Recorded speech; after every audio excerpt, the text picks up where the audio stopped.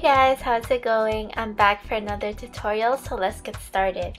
First, what you want to do is apply a primer and here I'm using MAC's Paint Pot in Soft Ochre and this will just help your eyeshadow stick on better to your eyelids as well as make it pop. Next, I'm going in with Peach Smoothie as my transition shade and this will just help tie the whole look together. Here I'm adding creme brulee to define the transition a little more.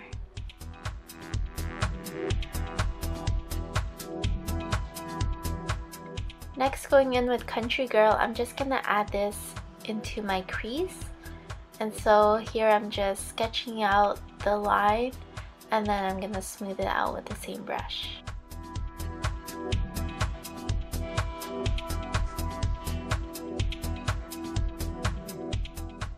You want to remember that after every eyeshadow application, you always want to take your blending brush to blend everything out and that's what I'm doing here.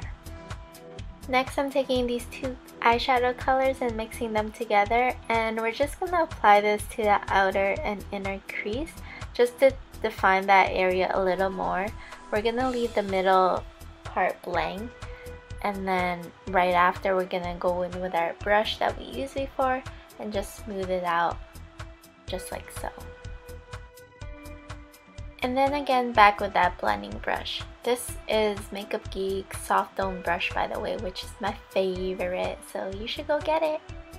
And then I'm going in with Shimma Shimma from Makeup Geek and I love this color.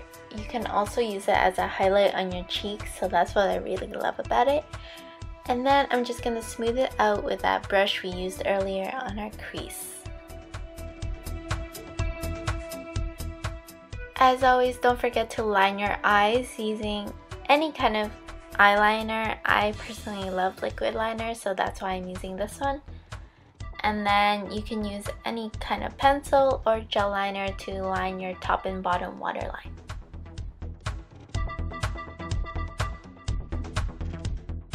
Now going in with this shade called Frappe, I'm just gonna line my lower lash line as well as smudge it out using creme brulee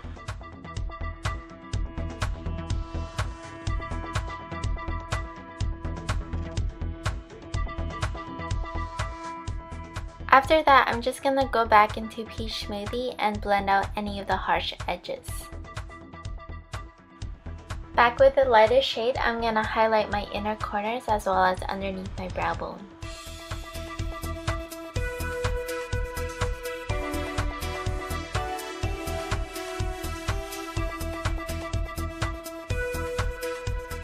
Moving on to the lashes, I'm just gonna apply one coat of mascara to my bottom lashes and then for the top, I'm gonna curl it and then apply my false lashes. Of course, as always, you can use mascara, but I just love my lashes. I am so addicted. It's kind of a problem. Here, I'm just hiding the band of the lashes and then I applied my lip color. I didn't show it on camera, but here it is. Hey guys, this is the final look. I hope it was easy enough for you to follow.